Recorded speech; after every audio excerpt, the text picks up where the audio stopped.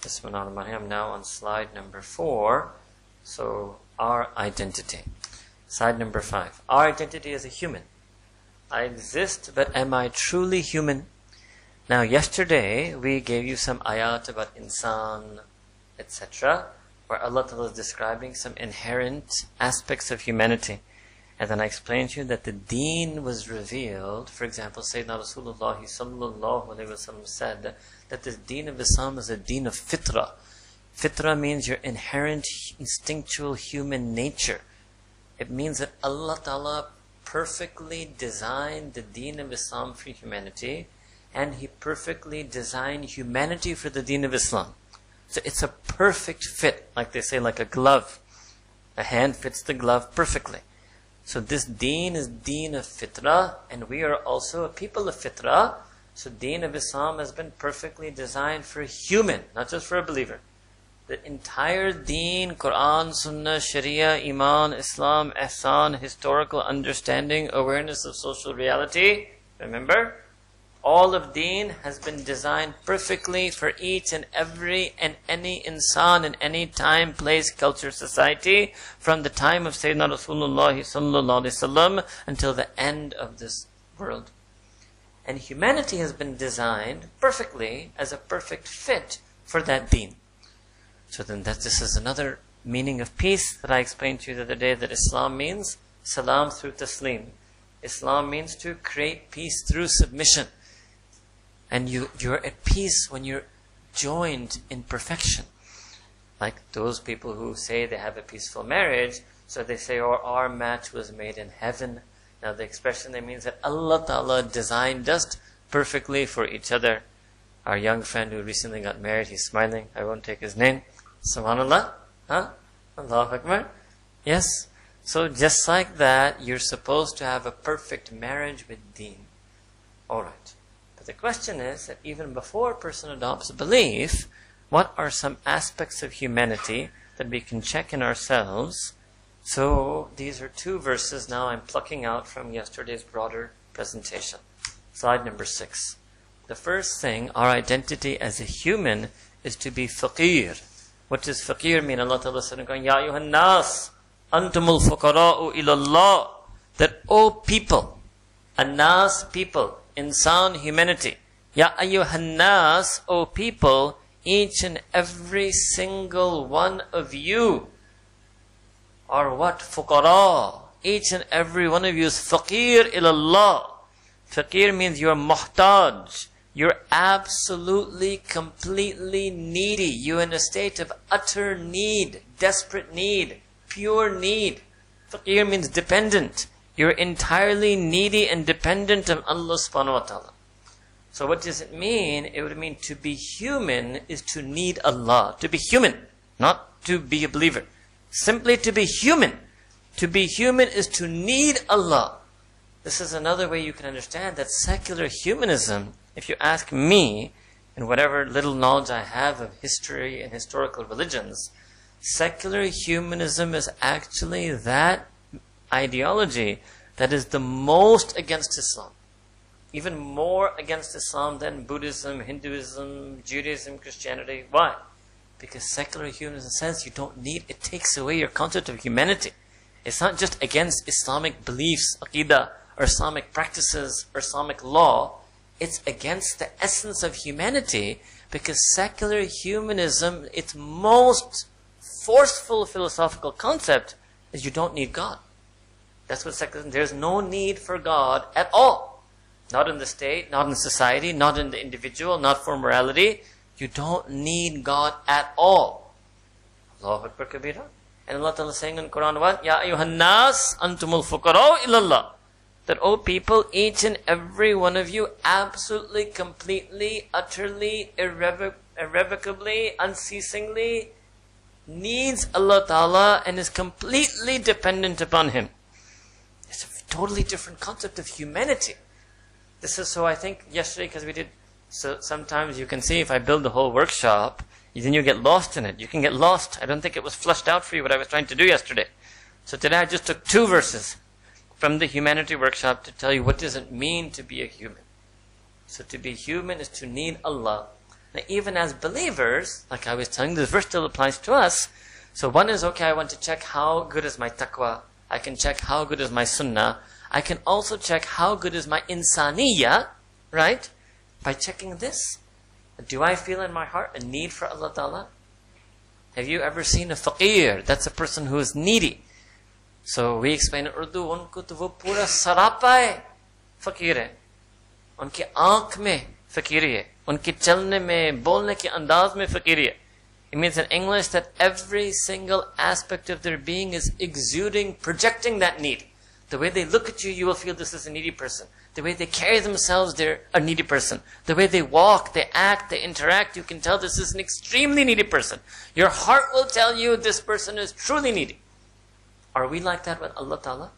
Do we always feel this need? Have we realized this aspect of our humanity? Or do we feel needy of other things? That I need money, I need fame, I need acclaim, I need praise. What are the things that we feel desperately needy of? Hmm? Now, the beautiful thing about Iman is if a human being completely needs Allah subhanahu wa ta'ala, by adopting Iman, they completely get Allah subhanahu wa ta'ala. That's coming later. That's coming later. This is the perfect, the perfection of the match, the perfect correlation. By adopting Iman and Islam, they perfectly, completely, absolutely, entirely, they get Allah subhanahu wa ta'ala. To be human is to need Allah. And we need to increase that aspect of humanity in us. When you feel need for Him, you won't miss Fajr. A lot of people say, Oh, I'm not regular in Fajr. Can you please tell me what to do? There's nothing to do. You have to be more serious in your attitude. First, when Allah Ta'ala called it fard, means you have to view it as an obligation. It means your attitude has to be this is something I absolutely must definitely do. Like if you have an 8 a.m. visa appointment or you have a 7 a.m. exam, you, you treat it as a fard.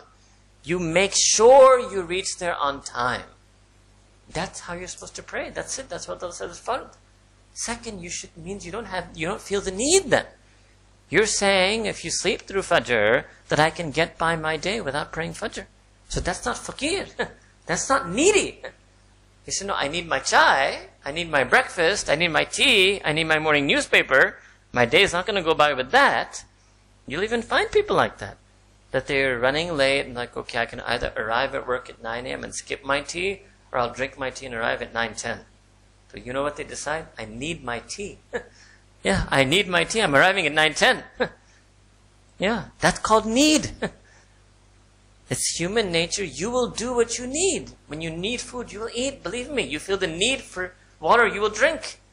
So your actions, the greatest motivation for action is need. Allah Ta'ala is telling us, Antumul fuqara'u ilallah. You need Allah Ta'ala. You need it. So when you feel that need, you don't need any motivation, encouragement, inspiration, tips, techniques, strategies, the top 10 tips to wake up for Fajr. Allah? What, what, do you, what do you think Fajr was? Is Fajr some like contest that you're competing in the Olympics that I need to give you strategies for that? That's your need. You, can you find an article like that? The top 10 techniques to make sure you eat food in 24 hours. I don't need any tip, tips for that. I don't need techniques for that. That's my need. To eat is my need. Can you find top 10 techniques to make sure you drink water? Hmm? No, because that's a need. Nobody needs any help in a need. You understand? So we need Allah. To be human is to need Allah subhanahu wa ta'ala. And a lot of people who accept Islam and the history of conversion, which is the entire history of our deen, is a history of converts. All the Sahaba were converts. Right?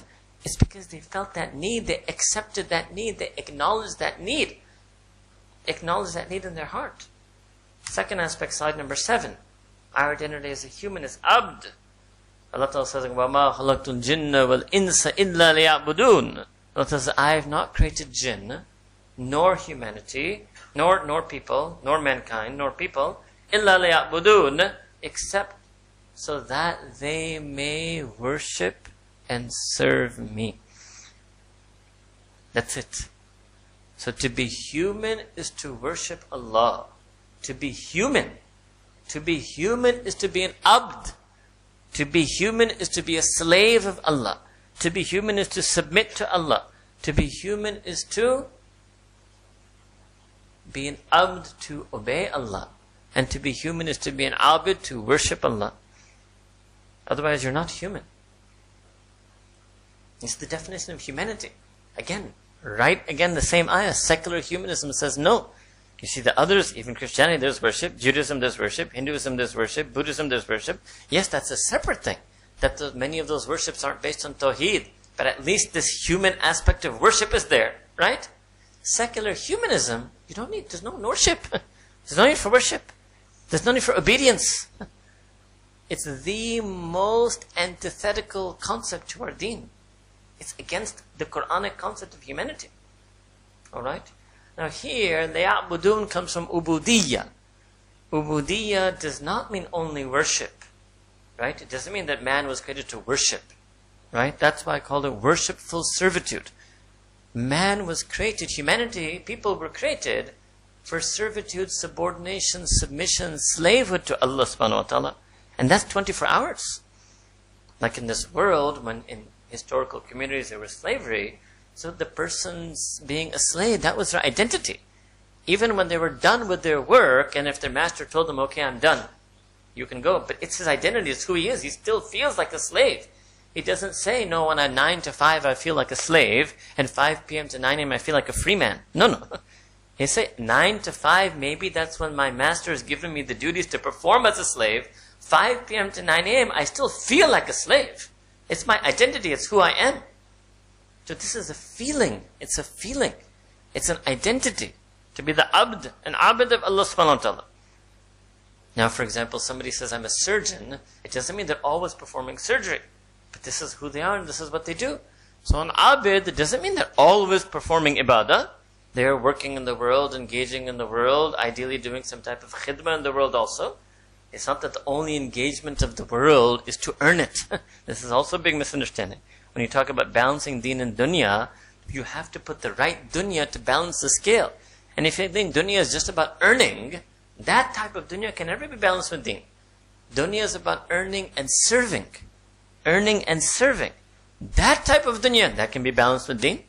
That type of person can be balanced. Always remember, you find a person that the relationship with dunya is only earning, there's no concept of balance now. They will always be imbalanced in their life. Because their dunya is skewed. So you put a skewed thing on the scale, the scale can't be balanced. Alright? But that earning is also part of ubudiyah, and that serving is also part of ubudiyah. And then, of course, there's also worshipping going on. There's obviously worshipping going on. Alright? So ubudiyah, so in Urdu it's called maqam abdiyat. Maqam in Arabic means that you reach a station. A station. Abd becomes your inseparable sifat. Abd and abid, both are included in this word. So that slavehood is in your words and your statements, in your thoughts, in your desires, your wishes, and in your feelings and emotions, and in your actions. So these are five things. Four are there. Number one is your aqwal, words and statements. Second is your afkar, your thoughts. Third is your khashat, your desires and wishes. Fourth is your ahwal kifiyat, your emotions and feelings. And fifth is your a'mal and af'al, your actions. Your actions are based on the first, your actions and words are based on those other three. Words and actions are based on what you think and want and feel. So if you're a slave to Allah Ta'ala in your thoughts, and if you've made your nafs a slave to Him, you only want and desire what He wants, and if you made your heart a slave to him, then when your akal and your nafs and your qalb, all three are slaves to Allah Ta'ala, then your words and your actions will be that of a slave.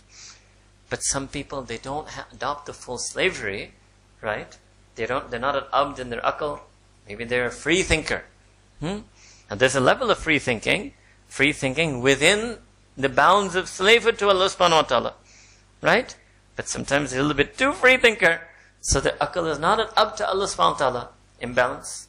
Then there will be some words and actions that they do that aren't 100% befitting a slave. Sometimes, okay, their akal, their mind is fully. They say, Sami'na wa ata'na. Allah ta'ala, my mind is yours. You fill it with Quran, you fill it with the nur of the sunnah of Nabi Kareem, sallallahu the knowledge of Quran, the knowledge of sunnah. My mind is yours. Okay, but their nafs is not completely a slave. Hmm. Their nafs is not 100% slave to Allah Ta'ala. Nafs sometimes has its own, own wishes and desires, which are not what? Allah Ta'ala wishes and desires for a person. So when the nafs is not 100% a slave, again there will be some statements and actions which are not befitting a slave. And third is qalb, that the heart and emotion, heart is not 100% a slave to Allah Ta'ala. What does it mean? Has some emotions and feelings that Allah Ta'ala uh, disobedient. For example, love for ghair mahram, unlawful, romantic, lustful love for ghair mahram. So if that's in a person's heart, that means the heart is not 100% slave to Allah Ta'ala. So then there will be some statements and actions that do not befit this maqam of slavehood. Alright? So to be human is to be an um, to be human. It's part of humanity to need Allah Ta'ala, to submit to Allah Ta'ala. Abd is to submit, obey, and worship. All of it is there. Abd and abd. So this is the Quranic concept of humanity. And secular humanism accepts every other thing that I told you yesterday, like the akhlaq and good character towards parents, everything else we talked about, about humanity, right? Secularism accepts all of that. It takes these two things out. So otherwise, in terms of character, good morals, good neighbor, all of that is the same. But what secular humanism took out was fakir, abd, abid, from the definition of humanity. Ajin? right? Very clever. Very clever. Without involving somebody in some false worship of false deity. They just took it out altogether. Hmm? So the other religions, ideologies, were about wrong worship. There was worship, but it was being done in some incorrect way. Secularism just took out worship itself. took out worship itself. The others were obeying wrong concepts. It took out obedience itself. Alright? So to be human is to be faqir, to be human is to be abd of Allah subhanahu wa ta'ala. So next slide, slide number eight. This I explained to you that how does a slave carry himself? Do they walk errantly? Do they have pride in their education degrees? No. So one aspect of this abd is humility. That to be human is to be humble before one's Rabb, before one's Malik, Master, Khalik, Creator, Lord and Rabb. So that's why we have to check in ourselves. Lack of humility means lack of ubudiyah. It's not just an akhlaq, it's not just lack of character. It's lack in our slavehood to Allah Ta'ala if you feel a lack of humility in yourself. The more a person is a slave, the more humble they will be. Now, does a slave ask this? I'm still on slide number eight. Does a slave ask this question from his master? Is it fard? Or is it only sunnah? Hmm? Now, I'll give you another example. So there's a modern type of slavery. It's not exactly slavery, but it's something akin to it. It's called the corporate contract. Now, I've told you this, those of you who before. Can you ever imagine a person working for a multinational company and saying to his boss, is it fard for me to do this? I just got an email that you want me to prepare this report for you to present when you go on the business trip to Singapore. It's not in my contract. It's not fard. Let's call HR department and see is it obligatory for me to do this? No, if you talk like that, you'll get fired, right? You'll get fired immediately. But technically, you're correct. Okay, let's you try another way. If you say, okay, all I want is to make sure I don't get fired, right? It's like the believer says, all I want is I want to make sure I don't go to Jahannam. Is it fard or not? So if you write your boss that, that, sir, if I don't write, prepare your report for you, will I get fired? if you take that attitude, You'll get fired. right? huh? Why? Because now that's subordination. Slave is a super subordination called submission, right? This is a subordinate. I'm your underling, right? I'm your matat. So what does subordinate mean? What my superior, or taken in the military, what my commanding officer says, there's a chain of command, a line of command. I don't question the command. There's no question, there's no option for me to disobey the command. So who has that right? What's the highest chain of command?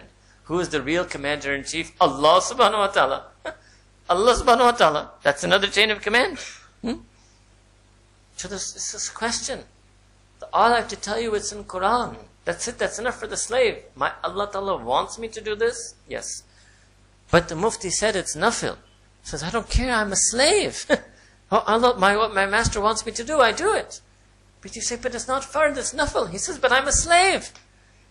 Ghulam का काम ही क्या है कि मालिक के पसंद के मुताबिक बनना के What else does slavehood other than to try to make yourself more according to the wishes expressed by your master? So I'm going to do fiqh for you later, but spiritual approach, yes, it shouldn't matter to you if something is farad or sunnah muakkadah, sunnah ghair muakkadah, nafil. It might matter if you have less time, it might matter sometimes, but in terms of your understanding, it doesn't mean that fard is something that you do all the time. That part is correct. But and everything else is something I do none of the time. No, that's not like that. Right? Or another thing, that does, does the slave ask his master, what's the reason behind this? Iski illat kya hai, iski hikmat kya hai, iski maslahat kya hai? So to translate from that or is, people ask it, what is the reason, what's the benefit, what's the wisdom? Hmm? The slave doesn't ask that of his master. Master says, go chop wood. Slave sees that there's plenty of firewood already. He doesn't speak. He goes and chops the wood.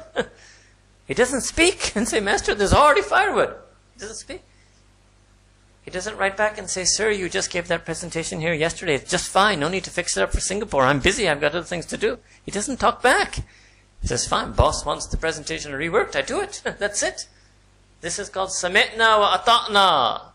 We hear, we obey, and there's no gap between hearing and obeying. We know and we practice. There's no gap.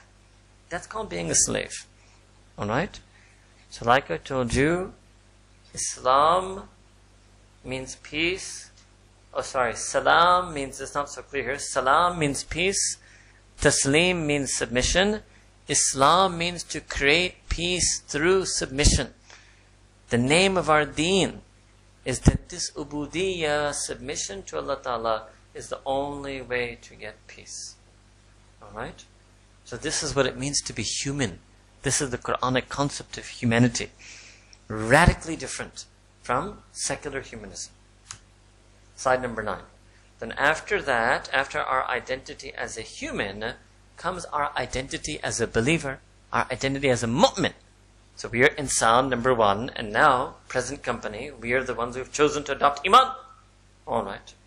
So then the next question, so if you go back to slide number five, the question in slide five was, I exist, but am I truly human? In slide number six, I exist, but am I truly fakir? Slide seven, I exist, but am I truly abd and abid? Slide nine, I believe, but am I a believer? I'm alladhina amanu, but am I from the mu'mineen? Am I from the mu'minun? So slide number 10. So first, let's talk about this iman. So that's our second identity. First, our identity as a human. Now is the our identity as a believer. Allah Ta'ala says, فَمَنْ شَاءَ فَلْيُؤْمِنْ وَمَنْ شَاءَ فَلْيَكْفُرْ That whomsoever wants, let them adopt Iman, and whomsoever wants, let them disbelieve in Allah subhanahu wa ta'ala. So what does it mean? We have been given the freedom by Allah Ta'ala to disbelieve in Him and we've been given the freedom by Allah Ta'ala to disobey Him. And as far as the disobey one, me and you make that choice every day. And there's so many opportunities to make that choice. There's so many choices a person, a believer, in our capacity as identity as a believer, is to, uh, in, our, in our capacity as a believer, we make so many choices whether to obey or disobey Allah subhanahu wa ta'ala. Alright? But I'm saying that Iman, and rather than Islam, it should say Iman, Iman is to voluntarily choose to believe and obey. So voluntarily choose to obey, I think you understood that. You have that choice. Lower your gaze or don't lower it. Pray salah, don't pray it. Right? Be angry or control your anger. There's so many choices. Question arises now in the rational, theological, secularized educational system that did I really, was I really free to believe? Wasn't I just born in a Muslim family? was so and so free to be, was Raj, who was born in a Hindu family, is he free to believe in Islam? Because he's born in a Hindu family. Isn't he just going to adopt the religion that his parents have? And didn't I just adopt the religion that my parents have? So question is raised on the first part of this freedom to believe. As far as freedom to obey, disobey, pretty much most people accept that. That yes, whether you're a believer or disbeliever, you can, you have the freedom. You want to murder, you don't want to murder, You have opportunities in life. You have certain abilities to do evil, to do good, to obey, to disobey. Alright? So let's look at this question now. And so this is going to go back to one of the first things we were doing. We spent more time in this than beginning, the quote unquote intellectual approach, right? Looking at theology, looking at what people sometimes try to make arguments on the basis of reason against Islamic theology. So slide number 11. Free will and predestination. This is how the topic is framed in the Western philosophical literature. Free will and predestination. So what they're talking about does do and actually even atheist philosophers still talk about this. It's not this is nothing that secularism and atheism has decided. Even atheist Western philosophers have a whole range of views on this. If you're interested, from that whole spectrum of views, the one that is the closest to the Islamic understanding is what is called compatibilism. Compatibilism is a term used in Western philosophy that, which I'm about to show you again right now, that free will and predestination are compatible with each other. They're not actually a paradox. They're not mutually exclusive. All right? But that understanding of compatibilism is not in any way based on Quran, Sunnah, or Ilm al-Kalam, which I explained to you in the first day. Right? But to just to show you, interestingly, that sometimes people who are only using their reason or intellect or mind, they also arrive at the same conclusion that Islam has already identified earlier.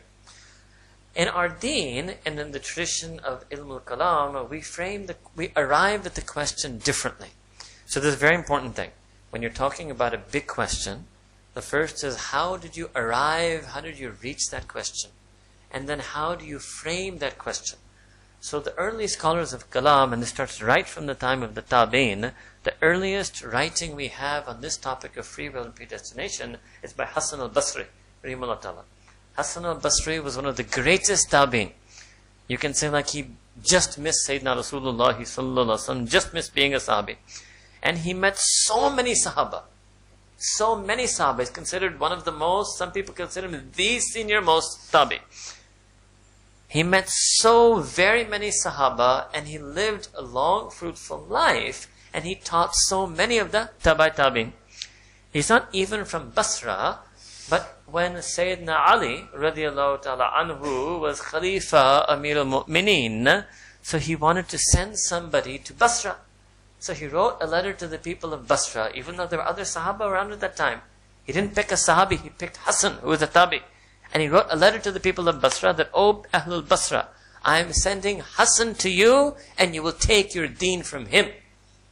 So Sayyidina Hassan, Rahimullah Ta'ala, went to Basra. And then he became known as Hassan al-Basri. Hmm? Now, who in Basra took their deen from him? Even the Sahaba in Basra would take legal opinion fatwa from him. We have in history, people talk about the Salaf Salihin. We talk about in the Khulafai Rashidun, Sayyidina Ali telling ghair faqih Sahaba to do taqleed of faqih Tabi Hassan in Basra. Historical fact indisputable. That's a touch of Islamic law for you. Alright? So the earliest writing we have is Hassan al-Basri. So I mean, these were questions that the earliest Muslims were talking about. Alright. How did the tradition of Ilm al-Kalam arrive at this question?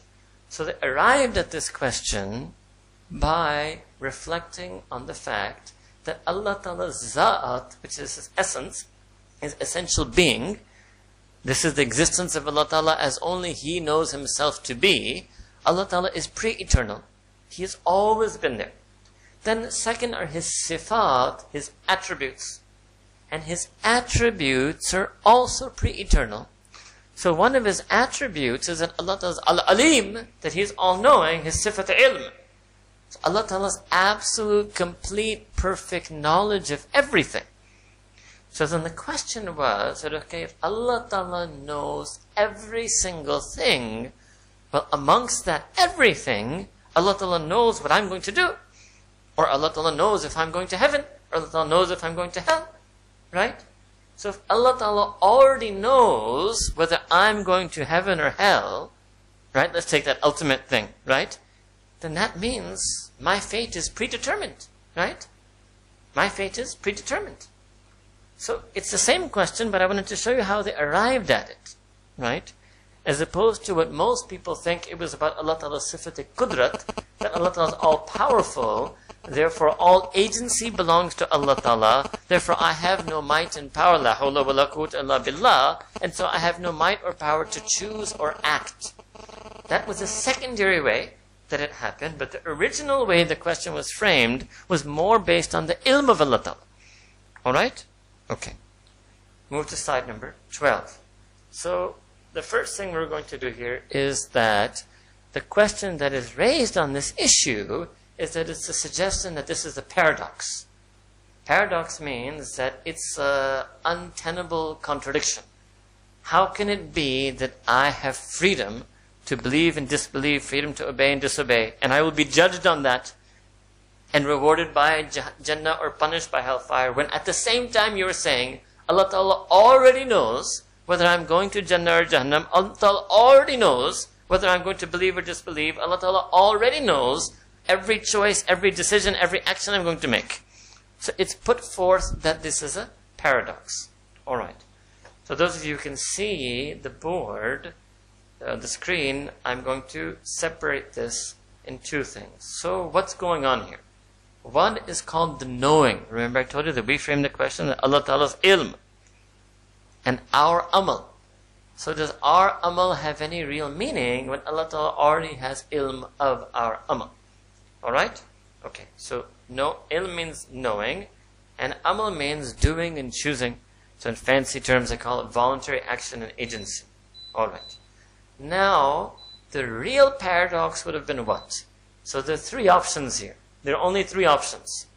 That knowing and the doing would both be done by the human. Second option, that the knowing and doing are both done by Allah subhanahu wa ta'ala. Third option, I guess strictly there are four options. Third option is that the knowing is with Allah and the doing part is with the human. Fourth option is the knowing with the human and the doing is done by Allah Ta'ala. So there are only four possibilities. So if you use rationality, this is a problem that can only have four possible solutions right? So the question is, is there any solution that can solve the paradox? Is there any one of these four solutions that can solve the paradox? So what I'm going to do with you is process of elimination. I'm going to show you first that three of the four are definitely paradox. Means three of the four will be untenable, unlivable. You couldn't conceive life like that. You'll say it's impossible. So let's say number one, that Allah Ta'ala does the knowing and He does the doing. So he chooses and he does the actions for you. So all of you know your lived experience isn't that. Can I say Allah Ta'ala picked this watch up? I picked the watch up, right? If Allah Ta'ala had the knowing and the doing, it's a paradox. If life is inconceivable like that. And like people say, then that would obviously be unjust. That if Allah Ta'ala did the doing, why should I be judged for those actions when Allah Ta'ala was the actor? So that would be a second theological paradox. So one is the worldly paradox, that how can you conceive of life that Allah Ta'ala knows everything and Allah Ta'ala does everything also. Right? And theologically, if Allah Ta'ala Himself did the actions, how can I be judged on the day of judgment for those actions when, in, according to this framework, I'm not the doer, Allah Ta'ala is the doer. So that is out. That can't be a solution to the paradox. So that option is out. Okay? Second option was what? That the human does both? that the human has the knowing and the human does the doing. Now remember, what knowing you were talking about, we were talking about the future. Right? So, first of all, at a practical worldly level, nobody can say that, that I know whether I'm going to heaven or I'm knowing I'm going to hell. Nobody knows that. Nobody can say tomorrow am I going to wake up for Fajr, I'm not going to wake up. It actually doesn't match reality. It doesn't match your lived experience. Right? Theologically also, if the human being had the knowing, then you would be Al-Alim, not Allah subhanahu wa ta'ala. You would be the one who is Al-Alim. And you know theologically that's not the case. Another way I can tell you that it's unlivable, if you had the knowing, your akal would not be able to hand this, handle this knowledge if you knew everything about the future. The first knowledge that you wouldn't be able to handle is if you were to know when, where, how you're going to die. You won't be able to handle that knowledge. Let's say I give you that knowledge. So I tell our friend Hamid, पुराना शागिर्द है मैं छेड़ सकता हूँ परेशान है नए लोग को कुछ नहीं कहता right so I tell Dr. Hamid that you're going to die at age 85 in Karachi so what's he going to do when he's 84 years old and 384 years and 364 days old, he's going to move to Lahore. That's what he would do if he had this knowledge. Oh, now he moves to Lahore. He says, I'm no longer in Karachi. He writes me, Dear Sheikh, I'm 85 and I'm happy in Lahore. Right? A paradox. Right? If you say no, uh, if you keep going, so Malak al-Maut will come. Say, Allah, Hamid nahi. Right?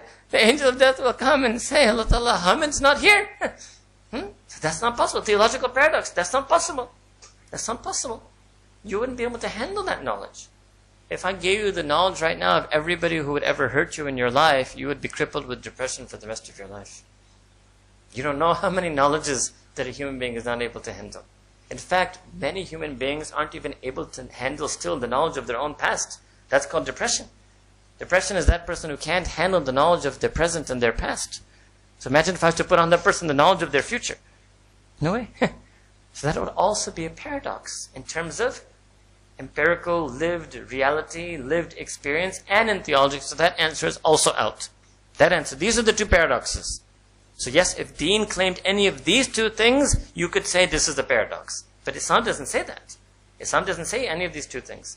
Third option was what? Third option is that the human being has the know. So we split it up, right? The first two was both with Allah Ta'ala, knowing and doing. Second was both with the human being, knowing and doing. Third option is let's split them up. So we split it up with that the human has the knowing and Allah Ta'ala does the doing. Human has the knowing and Allah Ta'ala does the doing. So the human knows everything that's going to happen in the future about them and generally. And Allah Ta'ala is going to do all those things. Again, you know, in worldly, this is not your, this is not your experience. This is not how you've lived your life up till now, right? That you were knowing and Allah Ta'ala was doing everything. Right? So it's against lived experience. So again, it's a paradox. And it's also against theological belief, because if you have the knowing and Allah Ta'ala is do, doing the doing, so again, if Allah Ta'ala is doing the actions, why should I be rewarded and punished for the actions in the day of judgment? Allah Ta'ala did them. Right? Yes, fine. I knew Allah Ta'ala was going to do them. I had the knowing. But I just knew it. Allah Ta'ala did it. Right? About, I mean, you know, please understand if you just walked in right now, uh, latecomers, you will be very person right now. Right? So you'll have to listen. There's a reason I'm talking like this. I'm hypothetically, I'm talking in absolute hypothetical terms. Alright? So this third option would also be a paradox. So all three, three out of four are definitely paradox. So even rationale would tell you the fourth one must not be a paradox.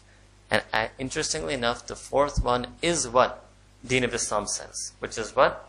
They're split, and Allah Ta'ala has the knowing, and the human being does the doing. Allah Ta'ala has the knowing, and the human being does the doing. Alright, round number two. Round number two is that a person says this is also a paradox. A person says, although strictly according to logic, if there are four solutions, one must be, is, is, one must be an escape to paradox. So by process of elimination, this one is necessarily correct. But no problem. We go round two. Round two says, no, I still don't understand. Because round two is emotional response. Emotional response. You're saying Allah Ta'ala knows if I'm already going to heaven or hell, so what's the point of me doing anything? Alright? What's the point of me doing anything? Alright. So here I run the box. Remember the box, you take a position, and if you, okay, if you want to adopt that position, I will flush out all of its logical consequences. You have to accept all of those consequences if you want to accept that position. Alright? So a person says, no, but still, if Allah Ta'ala knows if I'm going to heaven or hell, what's the point of me doing anything? Ya. Okay? So logical implication of that is that you can take that stance if you want. But you can't just use it for deen. You have to use it for dunya also. It negates all your actions. You can't say, kya fayda, what's the benefit, so what's the point of me praying? Because Allah Ta'ala knows anyway. You should say, well, Allah Ta'ala also knows how much rizq you're going to get. What's the point of you working? Allah Ta'ala knows how much knowledge you're going to get. What's the point of studying? Allah Ta'ala knows how long you're going to live. What's the point of eating? Allah Ta'ala knows how many breaths you're destined to take. What's the point of breathing? So if you want to take the logical implication of this, that if you insist this is a paradox, if you accept option number four as a paradox, that Allah Ta'ala is knowing and I'm doing the doing, so my doing is irrelevant and has no meaning because Allah Ta'ala already knows what I'm going to do, so the logical necessary consequence is inaction. Then you should adopt inaction. Not just inaction in deen. That's your nafs telling you that. Inaction in the, complete inaction. Don't act. You have no agency, no action, don't do anything. Don't breathe, don't eat, don't drink, don't talk, don't work, don't study, and fine also, don't pray and don't fast and don't do any of those things either. You want to live a life like that? So real time, there are few doctors. How long can they last if they don't breathe? right? Your life will be finished. Your life will end as a logical consequence of this if you insist on this position that Allah Ta'ala having the knowing and me doing the doing is a paradox. If it is a paradox, the paradox means yes, that your entire life is meaningless, your actions are meaningless, so then logically you must become a person of inaction, and then you will die within a few minutes. I don't, I'm not counseling you to do this. right? Do you see what I'm saying? So because the logical consequence is unacceptable, it means the position is unacceptable. Round three. Round three is the timelessness of the divine. Round three is this is actually a mistake, and I'm still on slide number 12. Round three is this is actually a mistake when you say this that Allah Ta'ala knows the past, present, and future. These concepts have no meaning for Allah Ta'ala. Allah Ta'ala is transcendental. The famous English term for the Arabic, huwa wara, summa wara, summa wara. Allah Ta'ala is beyond, beyond time, because time is a creation. He created time. Is beyond space, because space is a creation. He created space. So the university kids who love this, the time-space continuum. Yeah, Allah Ta'ala is beyond any of this. There's no linear time, and there's no dimensional spatiality to Allah subhanahu wa ta'ala. So if a person asks, how big is Allah Ta'ala? It's a nonsensical statement, because big means spatiality. So the way we express this in Arabic, La zaman lahu, la makan lahu. There's a lot in Tawheed. It's not just La sharika la. La sharika lahu, la mithla lahu, la zaman lahu, la makan lahu. Oh, there's a lot. La jihat lahu. There's no direction to Allah Ta'ala. Right? Now yes, there was once a peasant woman who came to the Prophet Sallallahu and he asked her that where is Allah Ta'ala? She pointed up there. Now science would tell you, well up there depends. Where was the earth on its axis of rotation? Was she in northern hemisphere, southern hemisphere? She's pointing in a different place, right? Right? Obviously, she wasn't pointing that Allah Ta'ala is there in the direction where my finger is. She meant Allah Ta'ala is above and beyond this worldly perception. Wara'ul bara. He's above and beyond, transcendent. she was pointing away. Put it that way. She wasn't pointing up. She was pointing away from the time-space world. But some people, again, who take the literal meaning of hadith, they try to, I'm amazed, there are actually people in Karachi who teach courses just on this topic, that Allah Ta'ala has direction, and He has movement, and He's a physical being, and He physically comes down in the last third of the night, and He goes back up and when it's Fajr. Oh, These are metaphorical statements in Quran. It's not to be taken literally. Right? Allah Ta'ala sitting on the arsh. Allah Ta'ala is not sitting on an arsh. The arsh is not a chair. The arsh means when Allah Ta'ala, okay, I explain this to you also, arsh, so you understand. Another belief about Allah Ta'ala, huwa al-an kamakan. Allah Ta'ala exists now as He always existed. Allah Ta'ala continues to exist now as He existed before creating anything. Whether it's the arsh, the kursi, the kalam, the lawh, the time, the space, the universe, the angels, Jannah, Jahannam, Allah Ta'ala exists now exactly in the same way He was always existed, even before He created anything. Arsh is just a representation of Allah Ta'ala's vantage point. So when Allah Ta'ala from His vantage, He sends Hidayah or He issues creation. So Arsh is just to denote the emanations from Allah Ta'ala. So these are called tajalliyat, for example, in Quran. Allah Ta'ala sent a tajalli on Mount Tur. When Sayyidina Musa Sami asked Allah Ta'ala, to see you, Allah Ta'ala sent a tajalli on Mount Tur. Alright? Waridat from Allah Ta'ala. Means Allah Ta'ala sends hidayah in a person's heart. Now I'm doing this movement with you, but that actually doesn't have a direction. That the hidayah, where is it coming from? There's no spatial direction.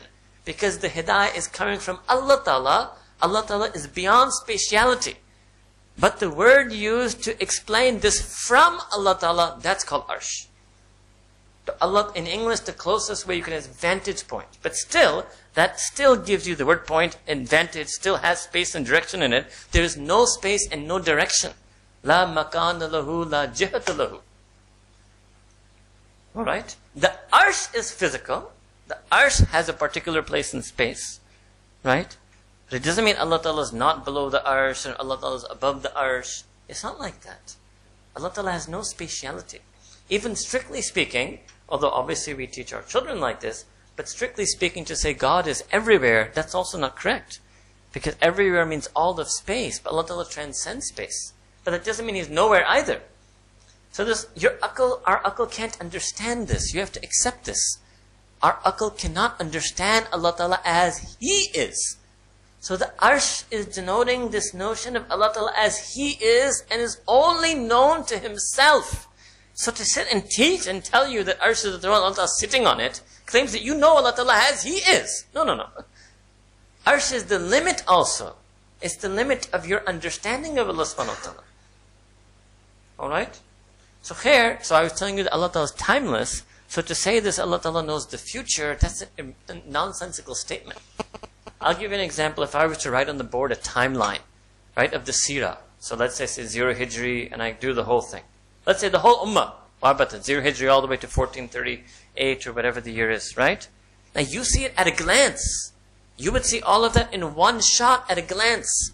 Allah Ta'ala's ilm and sama and basar perceives and encompasses all space, time, creation at a single glance, at less than a glance. Even to say glance is incorrect. Do you understand? So there's no question that Allah knows what's going to happen. There's no going to happen and happened and is happening as far as Allah Ta'ala's knowledge is concerned. Now this is the best way I can explain it, but the reality of it is beyond our comprehension. You can't understand. So if you're thinking, I don't really fully understand, but you've understood. Yes, Allah Ta'ala, to know Allah Ta'ala as He Himself truly is, is humanly impossible. Yes, to know Allah Ta'ala as He has revealed Himself to be in His attributes is possible to a limited extent. What does it mean? Like, I understand Allah Ta'ala said He's Ar-Rahman, I know He's merciful. But that doesn't mean, do I know every single aspect of His merciful nature? No, I don't know that. That's beyond my understanding. The entire meaning of Allah Ta'ala being Ar-Rahman but there's a deep understanding that is there when I know that Allah does Rahman. That's the hidayah, and that's what Allah Ta'ala wants from me. So that's called ma'rifah, to know Allah Ta'ala as much as He may be known. And the other part is called ajz, to be ajiz, to accept, you're an abd, to accept the human inability to know Allah Ta'ala as He only knows Himself to be. And these two have a meeting point. Imam al-Ghazali said that ma'rifat is ayn ajz, that you keep getting to know Allah Ta'ala more and more and more as He has revealed Himself to be until you realize He is ultimately unknowable. So to ultimately know Allah Ta'ala is to know that He is ultimately unknowable. Got it? Alright. So by the way, even in this one also, ultimately, this is going to be the same thing for this to ultimately understand why there's no paradox between free will and predestination is ultimately unknowable. you can know and learn to a certain extent, and then you'll have to trust that Allah Ta'ala is just, and Him sending people to heaven and hell is not unjust. Okay, a few rounds, a few more rounds with you. Slide number 13. Another argument people take is that no, whatever a person does is based on their nature. So people try to use this number one to get themselves off the hook for sinning that, oh, I can't control myself, I have a lustful nature. Oh, I can't stop myself, I have an angry nature. So suggesting that their nature predetermines their actions, and therefore they should not be, not be held morally responsible and accountable for them on the day of judgment.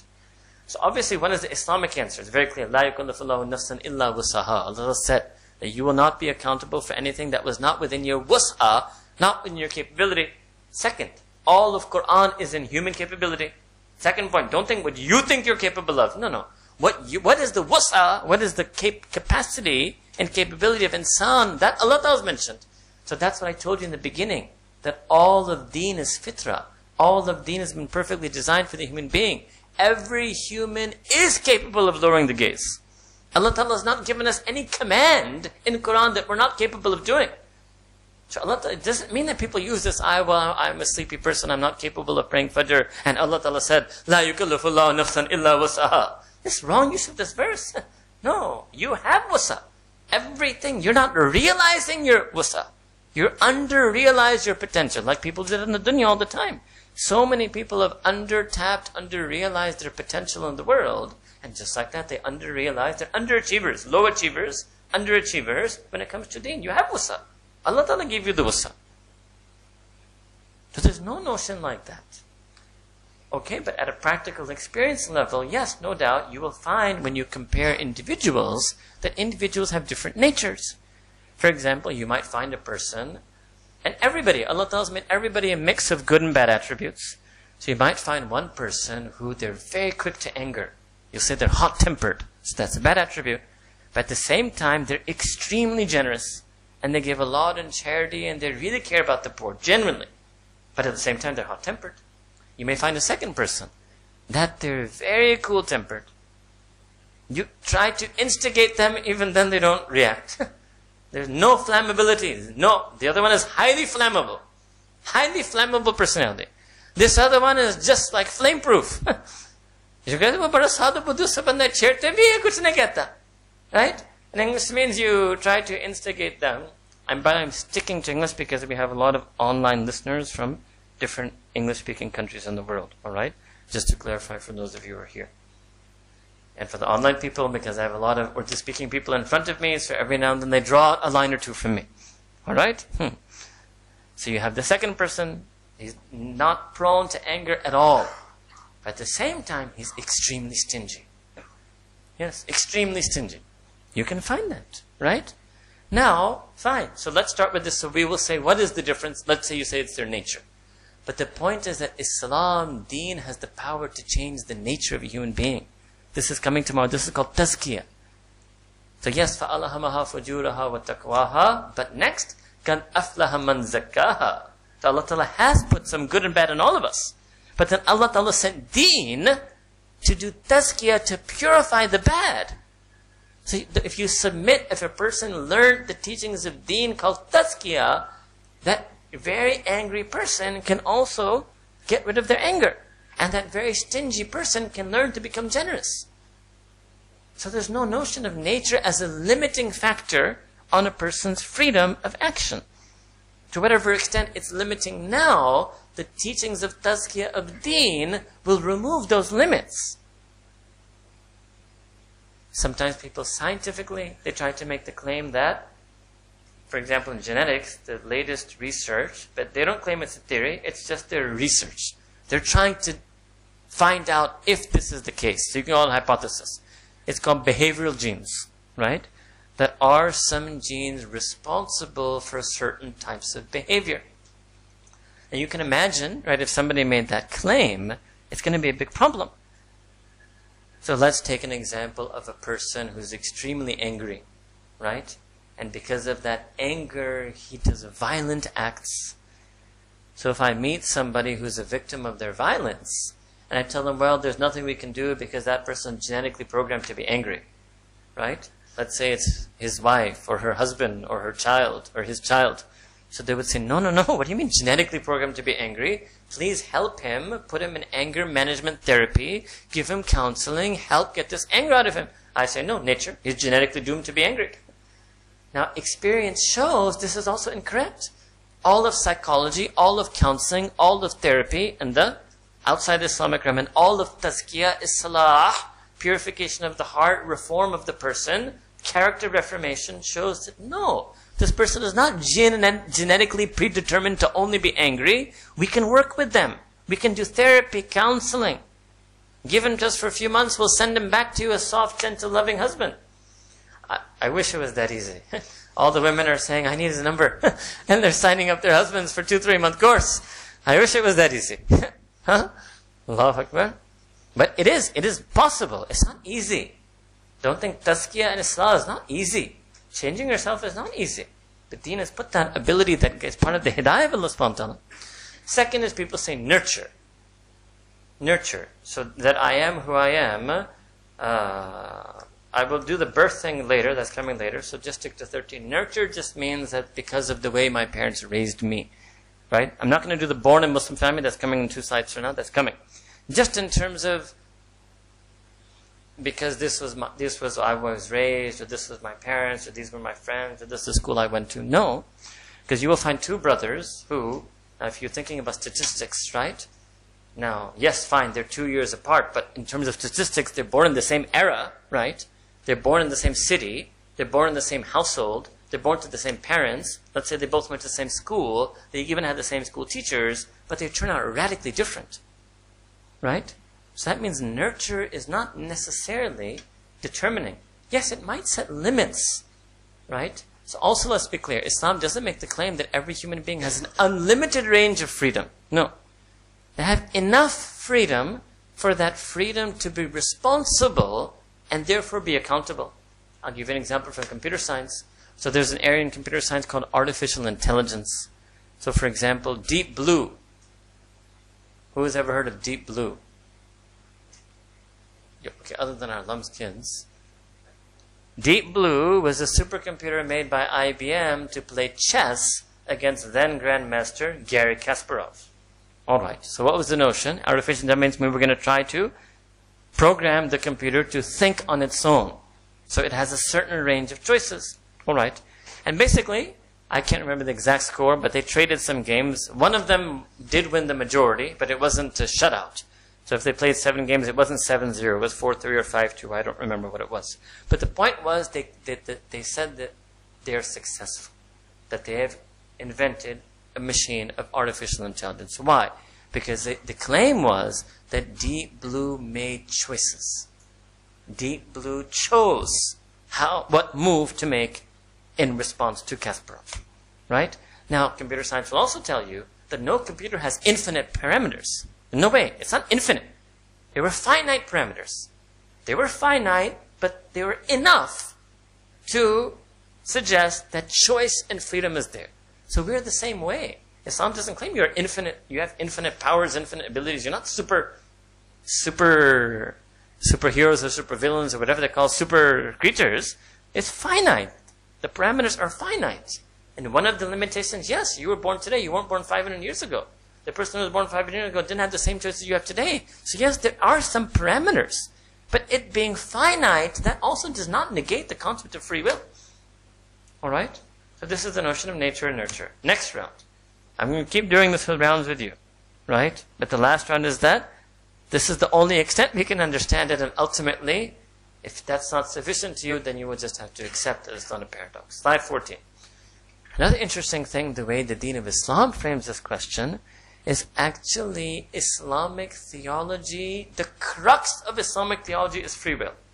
All of Islamic theology is dependent on free will. All of Islamic theology requires free will. Because without free will, there's no concept of moral accountability, responsibility, reward, punishment, judgment by Allah subhanahu wa ta'ala. Without free will, there's no question of doing tazkiyah and islah to make yourself choose better choices and do better actions. There's no question of asking Allah for hidayah to make better choices and better actions if you have no free will as to what you choose and what you do. Now understand this. The very purpose, the very purpose of Allah Ta'ala creating humanity and the jinn, but we leave the jinn aside for now. Leave the jinn aside, that's another topic which I've never yet taught in my life. Because I actually feel that the hidayah, and this is also answering your questions, how much knowledge do we need to know about certain things? It's a very good question. There's no one answer, it depends what thing it is. So for example, as far as I'm concerned about jinn, all you need to know about jinn is to believe in their existence and whatever Allah Ta'ala said about them in Quran. That's it. You don't have to start asking me this question that jinn have free will the same way we do. It's not part of your hidayah. It's not part of our hidayah. Alright? But humanity and jinn do have free will. So anyway, casting aside the jinn for a moment, insan is that unique creation. What does it mean when Allah Ta'ala created humanity? He wanted to create a unique creation of His that was endowed and gifted with an ability that no other creation has, and that is the freedom to disbelieve and the freedom to disobey. The sun cannot disbelieve in Allah Ta'ala. A cat cannot disbelieve in Allah Ta'ala. The grass cannot disobey Allah subhanahu wa ta'ala. There is no creation in all of Allah Ta'ala's creation that has been given this freedom. An angel cannot disbelieve in Allah Ta'ala. An angel cannot disobey Allah Ta'ala. They can question. They don't dis disobey. They take, they're questioning. They're, they're, they're, it's in Quran and the Hadith they question Allah Ta'ala. But they don't disobey. Alright? And they question not out of skepticism, they question out of learning. They want to learn. Right? They want Allah to explain to them, why are you putting this Adam on earth who's going to create fasad fil ard? They weren't saying Allah Ta'ala don't do it. That's not that sometimes the English translation makes it sound to you like that. That they were questioning as in don't do it. They're questioning to learn. Why would you want? We want to learn about you. We're learning something new about you. We thought you were that being who's just content with us. But you have now revealed yourself to be a being. We're seeing a new aspect of your mercy. Right? You see, the angels, they never get the maghfir of Allah Ta'ala because they never sin. So probably, as one example I will give you, but this is called speculative theology, that the angels on that day learned that Allah Ta'ala is also a ghafar al-ghafur. They had never seen that aspect of Allah Ta'ala before because there was no nothing to forgive. There's nothing in creation that gets that forgiveness. Right? So they didn't know. So that's why they ask, why would you create a being who's going to create fasad? Because my sifat of maghfirah needs to have a manifestation now. Alright? Khair. So the purpose of humanity is to create a creation that uniquely has the ability to freely obey or freely disobey, freely believe or the freedom to disbelieve and the freedom to disobey. That's why human beings were created. Alright? To give them that freedom. Alright. Next round is that don't worry, slide 15 is coming. Then am I really free to believe if I'm born in a Hindu family and am I really free to? It's coming in slide 15. Your all-time favorite. It's coming. Alright?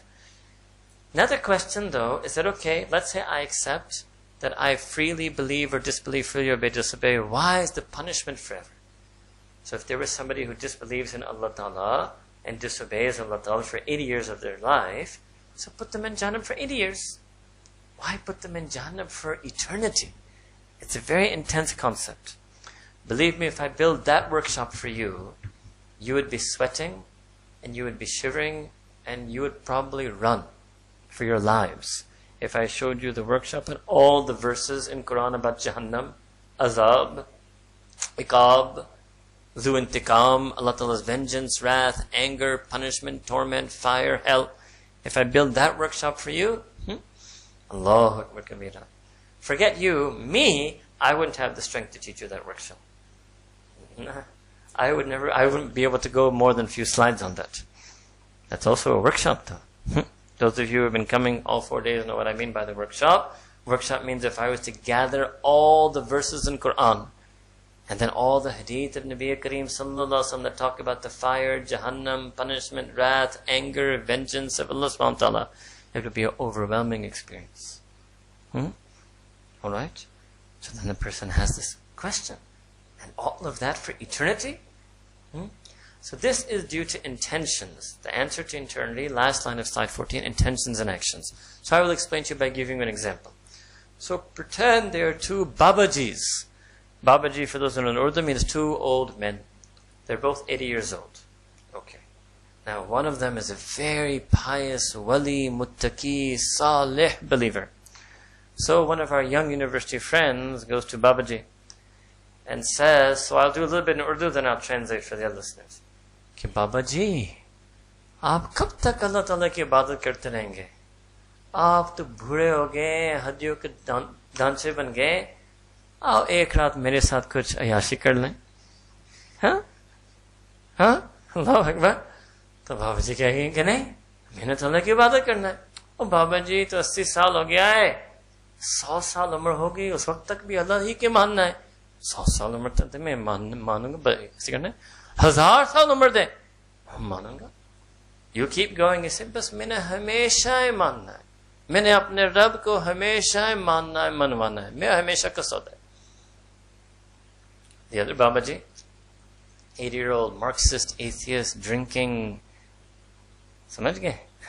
So the university student goes to him, Oh Babaji, کچھ خدا کو خوف کرو اسی سال ہو گئے کچھ توبہ کر لو کچھ اللہ لو سیکھ لو مرنے سے پہلے کہتے ہیں نہیں no I met people like this I have met people eighty plus like this نہیں میں نے کوئی نماز نہیں پڑھنا شراب روز پینا ہے اللہ اکبر کبیرہ۔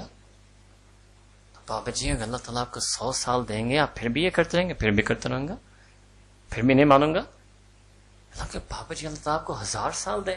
میں مانتا نہیں ہوں بیٹے، میں آپ کو کیا کہہ رہا میں نہیں مانتا۔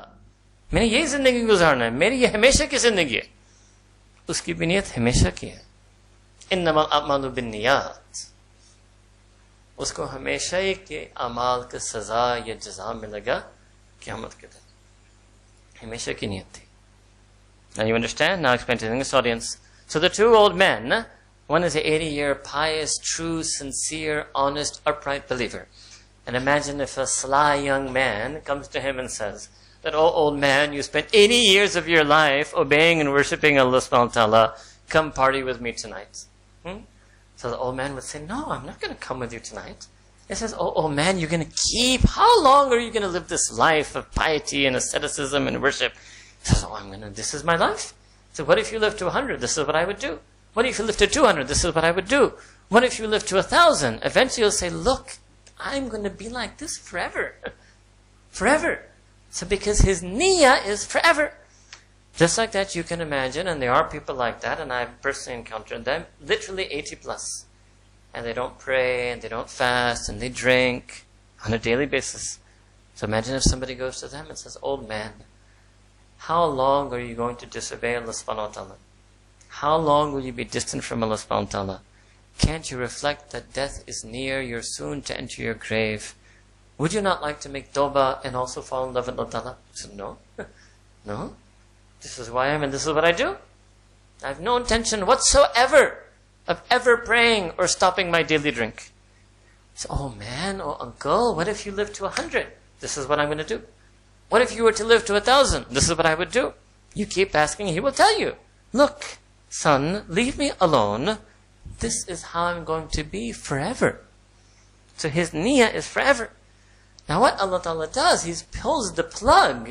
He doesn't let the person live forever. He pulls the plug and on the day of judgment, He will give them the reward or the punishment based on their intention of how they would have led their life were they had to live forever. This is why people make a lot of dua of what's called khatam bil khair. That in the state that you die, what was the intention? What was your life and lifestyle at that time? That's why we tell people it's never too late. You're 50, 60, 70, retired. You can still change. You live the last 10 days of your life like a true wali of Allah Ta'ala, and your intention is, I would be like this forever, you will get that reward forever. But it doesn't mean you calculate and leave it for the last 10 days of your WHO life expectancy, because not everybody reaches that life expectancy. No one knows what their last 10 days of their life are. It's quite possible from all the people listening attending this course, not every one of you or me may be here exactly one year from today. No one knows. So because you don't know, and you know what was my true heartfelt intention, how I would live my life on the last day of my life, and today and every day could be that last day of my life, I will live every day of my life with that pure intention that Allah Ta'ala, I'm yours forever.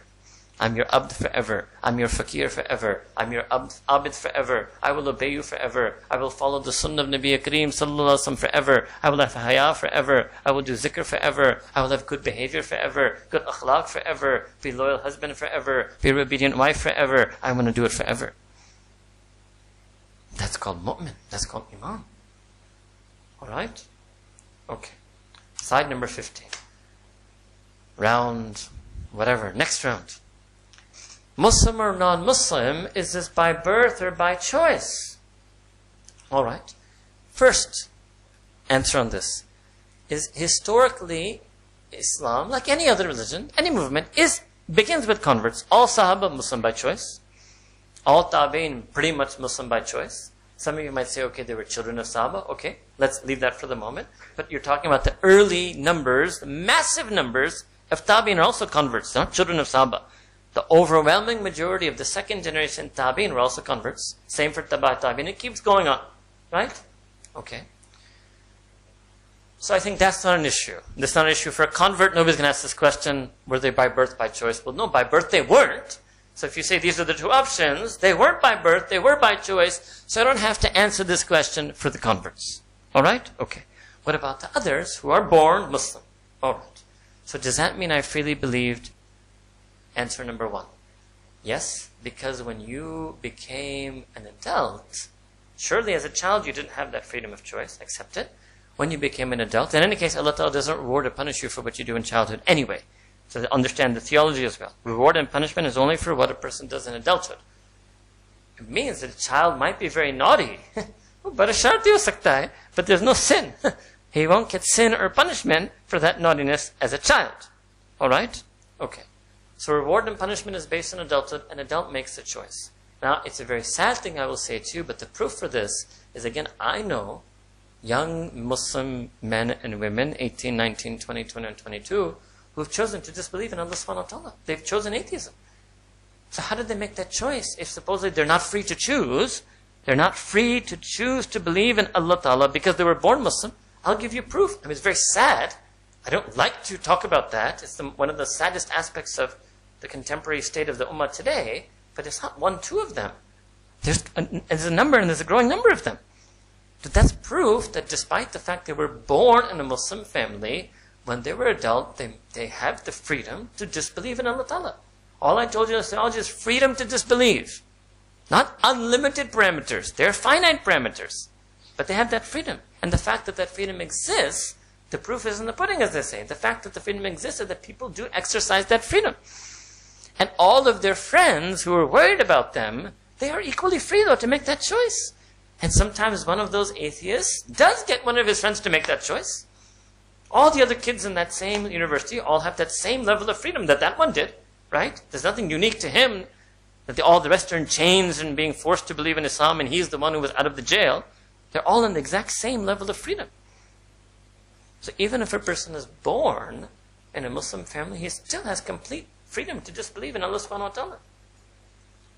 Alright, let's look at the other way. That's okay, fine, I accept that. But what about the other way? So the argument's often given. So I just gave example of Raj. I'm just make, picking a name. So say Raj was born in a Hindu family. And most people will just accept what their parents told them. Right? You're absolutely correct. Raj's probability of being a Muslim is less than the probability of a person being a Muslim who was born in a Muslim family. All Islamic theology requires for choice to be there is the probability isn't zero. It's not zero, because again you have a fact that every year there are Hindus who convert to Islam, Sikhs who convert to Islam, Buddhists who convert to Islam, atheists who convert to Islam. Alright? Every year. And again, I've met all of the above. Well, let's say a Hindu, definitely. Sikh, yes. Buddhist, I have not yet met personally, but I know they exist. Alright? Christian Jews, I've met. Marxist atheists, I've met. Alright? So again, the fact of its occurrence, let's go back to science. Empirical evidence. Hmm? The fact that it occurs means it's possible. That's it. All Islamic theology requires is this possibility. And again, the factors are the same. That, let's say that atheist who converted in Denmark, all the other Danish citizens have the same freedom that that person did. They could also have made that choice. You cannot say, no, it's inconceivable that any one of them could make the choice. They don't have freedom. Only this one had freedom. No way. If he had the freedom to believe, all of the other ones also had the freedom. They had the equal freedom. And that freedom is sufficient for the person to choose to believe because it's proof he did it. Alright? Next round. Still a person insists, okay, fine, fine, I accept there's freedom. But isn't it still unfair? I say, what do you mean by unfair? Because there's less of a chance. And I had a greater chance. Alright? That is this next line in slide number 15 called transitive good. This is transitive good, yes. The good that your forefathers did does provide you with good. This is in fancy philosophical transitive. It flows from one generation to another. And that their forefathers didn't, that also flows to one generation to another. For example, 99.9% of people currently who are Muslim in India, Pakistan, Bangladesh, and that's 550 million Muslims, 99.9% are descended from Hindu. Somewhere in their forefathers or foremothers, some Hindu accepted Islam. And you are getting the barakah of that because Iman now has come in your lineage. And the other person, the person who's still Hindu in South Asia, so the other pretty much half or slightly, uh, you would say it's about half because if you add Pakistan, Pakistan, India, roughly, I don't know what it is, but let's 60% or 55%. The other 55% of the subcontinent, which is still Hindu, yes, they didn't have a forefather or foremother who accepted Islam. So they didn't get in the lineage. Now, let's put this in the box. If you say, well, no, this is, this is why I don't accept it. I can't accept Islam because it came to me in my lineage. Okay, put that in the box. Flush out its logical implication. You can't do that just for deen. Because there's another transitive good that reaches you, which is your dunya. And especially you are sitting in front of me, you were born with a silver spoon in your mouth.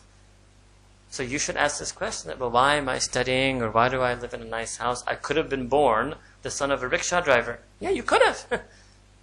so if that means that you, you shouldn't give up everything, fine, go drive a rickshaw. I'll, I'll, I'll buy it for you if you want to do it. None of you do that when it comes to dunya. You could have also been uneducated. Of course you could have been if you were born in a family that couldn't afford education. So what you're saying is what? I'm perfectly fine accepting the transitive good that came to me in terms of dunya without any questions whatsoever.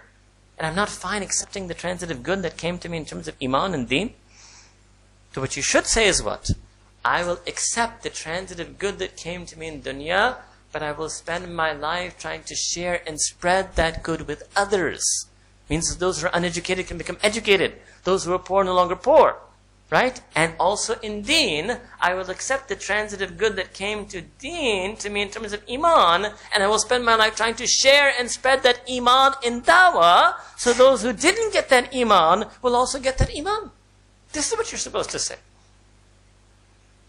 How foolish is that young or not young man or woman, university student or graduate who stops praying and stops believing in Allah for this reason that, well, I was born in a Muslim family and Raj was born in a Hindu family. What you're supposed to do is go out there and meet Raj and share with him what you got through your family. That's what you were supposed to do. All right? Next point is guidance and misguidance. Oh boy.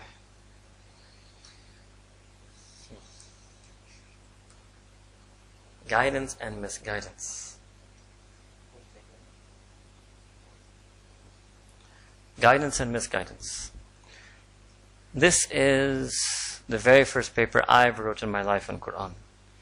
And the first workshop I built, because this is a small workshop, that where Allah Ta'ala talks about misguidance also in Quran.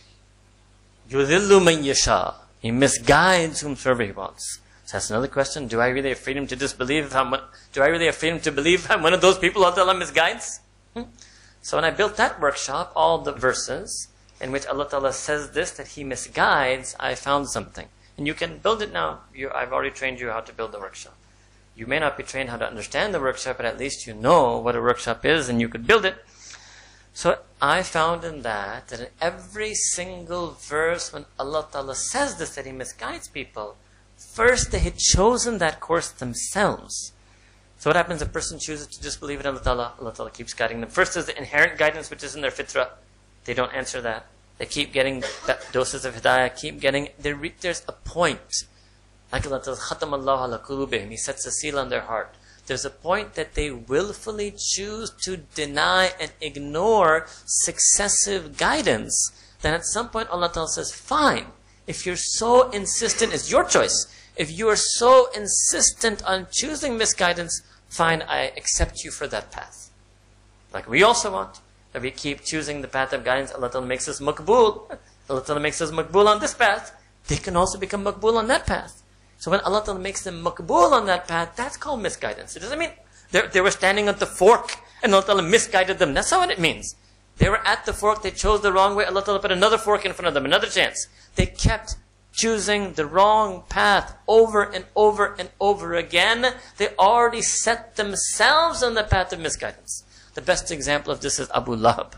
Because it actually also, this is said that Allah sealed his heart. When did Allah seal his heart? At the outset? No way. It I read once, but Allah because I couldn't source it. I can't remember if it's about Abu Jahl and Abu Lahab are both examples of this. That Sayyidina Rasulullah went to them over hundreds, hundreds of times in dawah.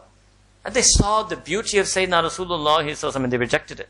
And not just once. How many times did they gaze upon the beauty, the physical and character beauty of Sayyidina Rasulullah and how many times did they reject it? How many times did they hear Quran and how many times did they reject it? So they got so many hidayah, so many forks of the road. They kept choosing wrong, kept choosing wrong, kept choosing wrong. So there comes a point that Allah Ta'ala says, He seals their heart. Wasn't at the outset. So that didn't determine. That was the outcome. That didn't determine. That was the final outcome. Same thing for a person. On the other side, a person keeps obeying Allah Ta'ala, keeps obeying Allah Ta'ala, keeps obeying Allah Ta'ala. What happens? Allah Ta'ala also sets a seal on them. What? Ya ayyutahan nafsul mutma'inna irji. Irji'i ila rabbiki mardiyah. Finished. Makbul. Makbul. It happens on both sides. A person doesn't get that at the start. That also doesn't happen at the start. That person was starting in the fork of two roads and they got that. No. That keeps coming and they kept getting wrong turns. They didn't take it. Shaitan kept putting exits. They didn't take it. Nafs kept putting exits. They didn't take it. They kept staying on the right path. Kept staying, kept staying, kept staying, kept staying. Allahu Akbar. Hmm? There's symmetry. There's a pure symmetry in the theology of Quran and theology of our deen. Alright? The last thing was salvific theology, but we're going to have to mm, leave that out. Uh, very, I'll give you the very briefest explanation of that. That's the question that is every non believer doomed to hell. It's a very complicated thing, so I can't open it for you. I'm just going to show you the label. Not even, not even behind the scenes tour. Nothing. We're going to show you the gate of the factory. All right?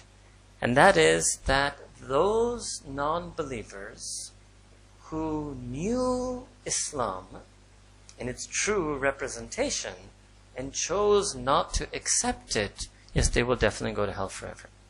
Such as Abu Lahab, Abu Jahl, and there's so many others also. Don't, it is not just historical, it's still today as well. Alright? Question people rose is what about non believers who never knew about Islam? So Imam al-Ghazali in that work I told you to read, which is available in your Karachi, Faisal al-Tafrika, he actually mentions actually one of the best examples of this, that even in the lifetime of Sayyidina Rasulullah wasallam, all the people living in Europe hadn't really heard, I mean, they may have gotten some wind from some trader, but they didn't really know what Islam was. The Quran had not really fully reached them. The true message, complete message of the Prophet had not reached them.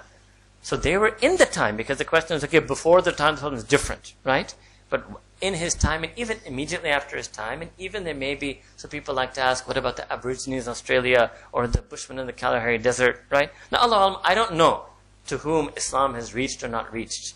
I don't know if only CNN Islam has reached them or real true Islam has reached them. I know two things. Number one, if Islam has not yet reached them all the way in 2016, we are the only ones to blame for that.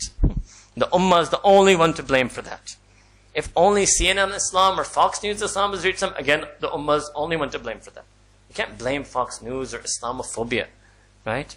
There wouldn't be any, you see, you wouldn't be scared of the venomous snake if you knew that there's one million species of snakes that have no poison.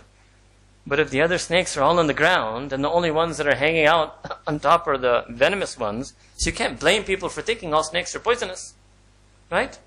There's only Ummah to blame. If so, Allah, knows best who to whom Islam has reached or not. There's nothing that's not you don't have to make that decision, by the way.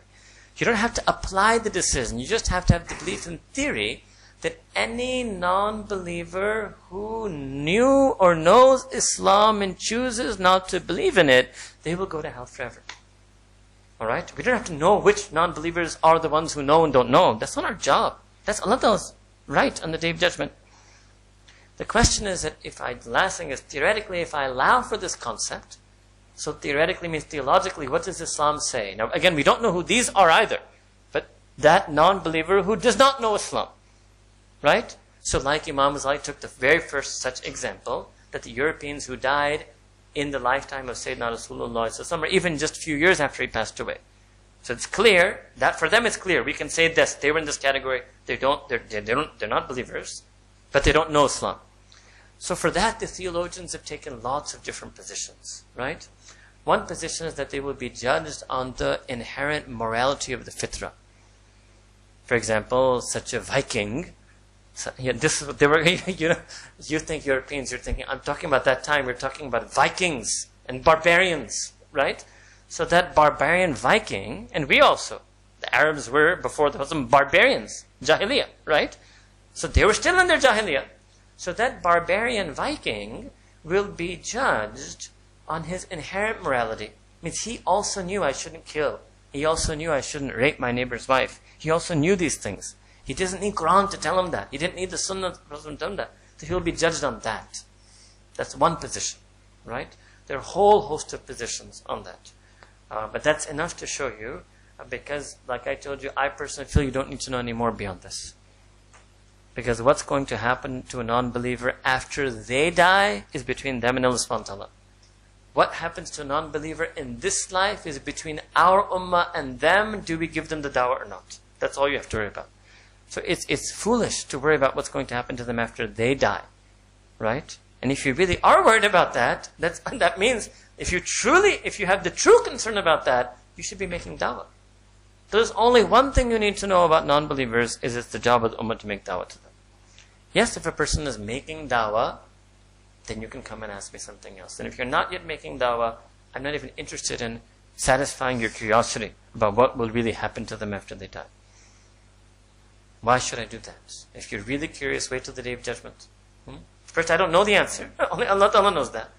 To what extent the scholars have written about that, you don't need to know that. I personally, yeah, I have no qualms telling you. I don't view this as hiding knowledge. I can't hide it from you. You, you could try to learn it if you want. But I'm not going to teach you things that I don't think are of benefit to you. Alright? Your only concern for the non-believer is how you can introduce Allah Ta'ala to them, how you can introduce Sayyidina Rasulullah to them.